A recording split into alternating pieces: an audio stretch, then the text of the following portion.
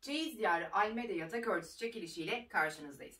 Evet gördüğünüz bu muhteşem yatak örtüsünü 9 Eylül tarihi itibariyle yani bugün itibariyle çekilişe katılabilirsiniz. 19 Eylül tarihi çekiliş için son gün 20 Eylül saat 22'de yani akşam 22'de çekiliş sonuçları açıklanacak. Evet çekilişe katılmak için ne yapıyoruz? YouTube kanalımızı takip edip abone oluyoruz. Son 3 videoyu beğeniyoruz ve yorum yapıyoruz.